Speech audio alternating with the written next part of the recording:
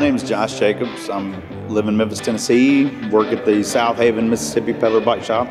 Bicycles is something that was, you know, with me from early childhood. I rode nonstop when I was a kid. That was my my escape, my transportation, and uh, so that was what what I enjoyed doing as a child, and and I continued to do it up until my early teen years. You know, I got away and was kind of into girls and cars, and and then that brought me back around later in my 20s to, to cycling. I got back into mountain biking. You know, love going hitting the trails.